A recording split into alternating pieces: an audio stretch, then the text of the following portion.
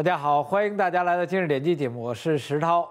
埃及这件事情呢，继续在发酵。国内呢，据说非常低调的，在擦边的角度说了一点点，就不提了。他最担心的，就怕咱普通的大陆人学了埃及人，学了突尼斯。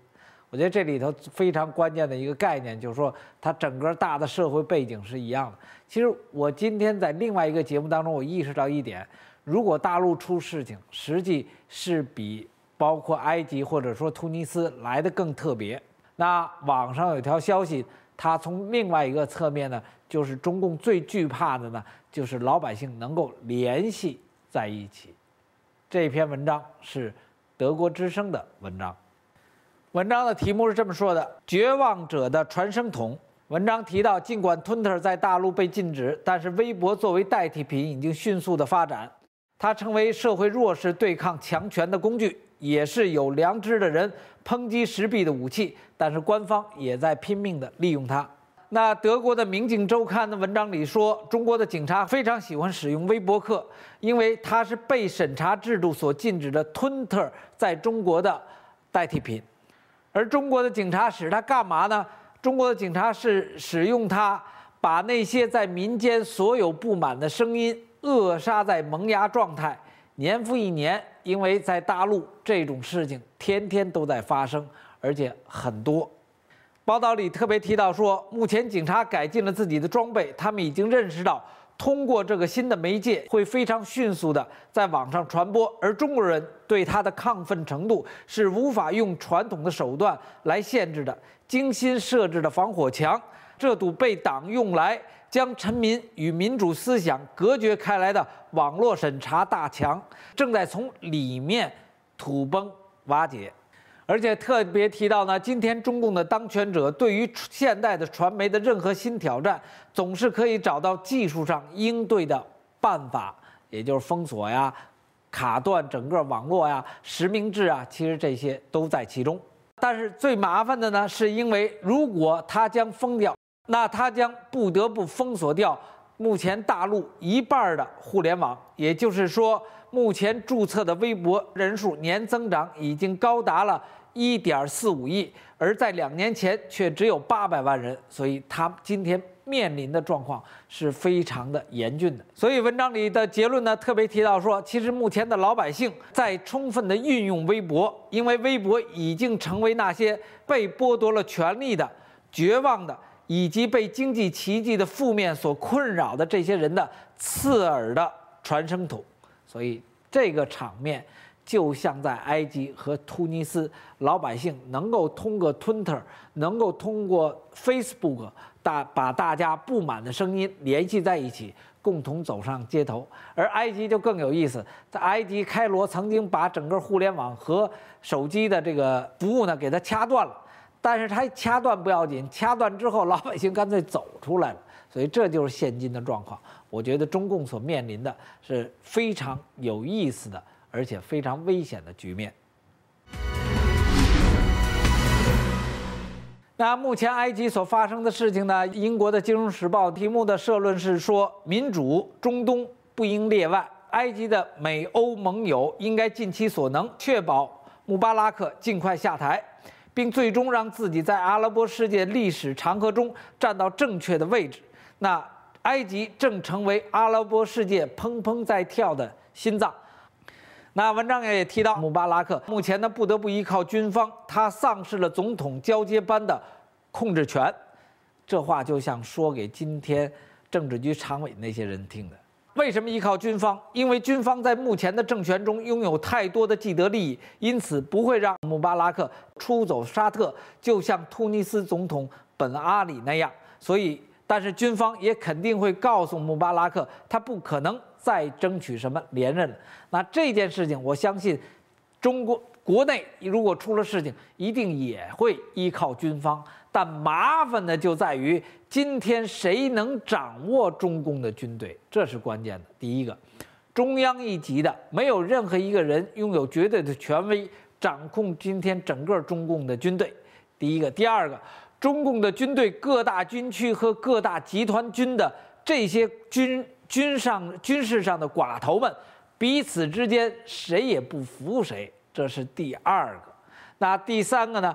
即使依靠军队，军队可可能去维护他们的既得利益，而且军队在过去的时间里，甭管是航母啊，还是这个隐形战斗机啊，他们变着法儿的捞钱。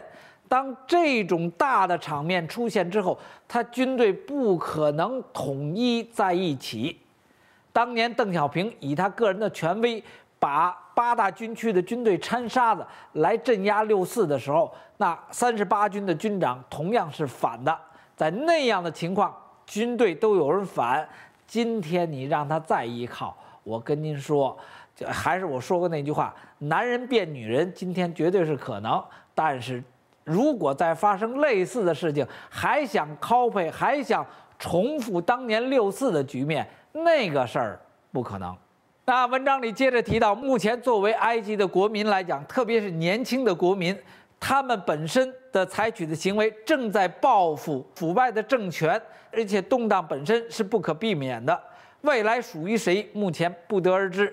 眼下而言，走上街头勇敢抗议的，主要是年轻的世俗的民主民主人士，他们应该得到支持。今天国内真正出现状况的人。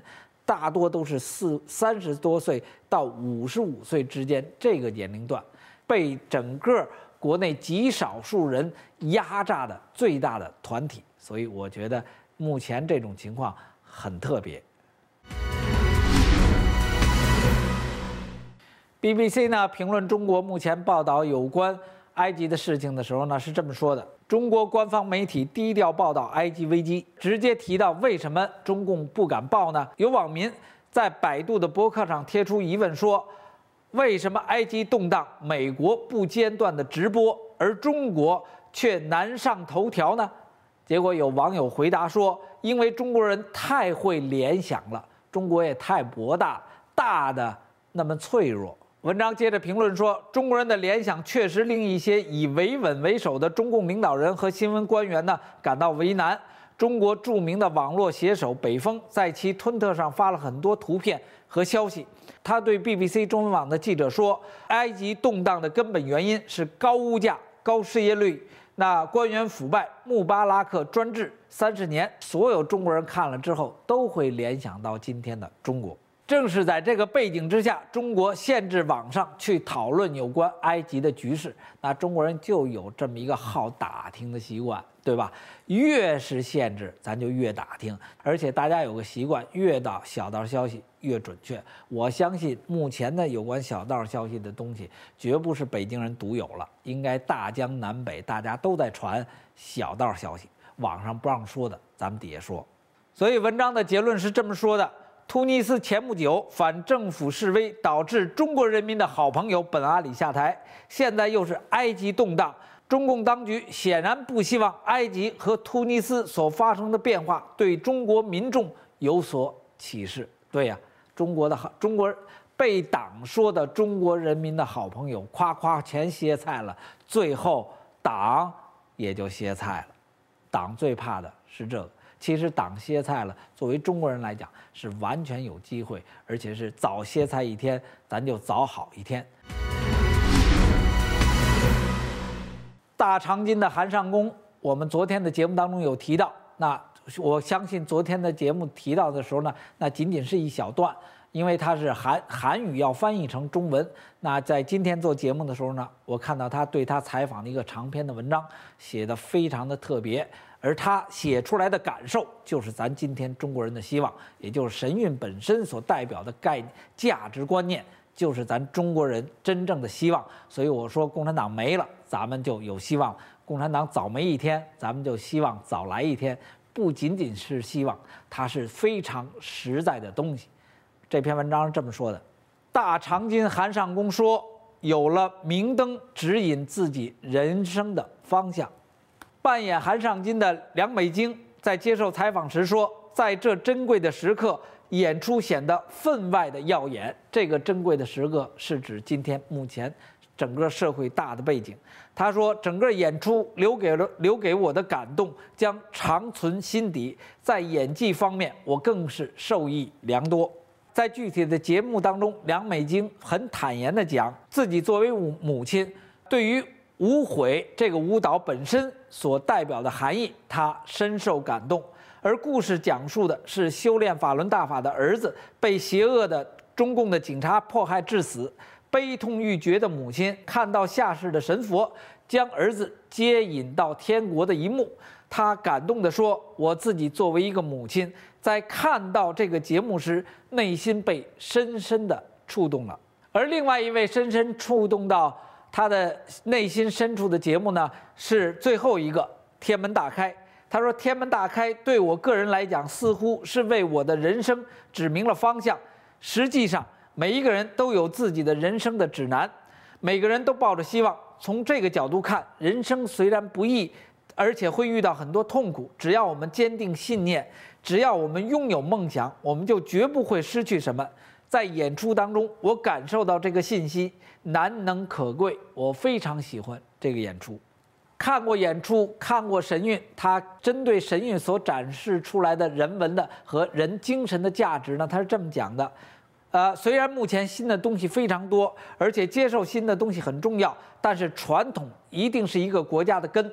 那神韵艺术团在传播着中国的传统的文化，每个国家都有自己的传统，保护好传统就是我们的根本。而且他接着表示说，他目前非常希望，或者说非常渴望等待着明年的神韵的演出，而且他一定让他所有知道的他知道的人和朋友，在明年的时候，在神韵再次来到来到韩国的时候。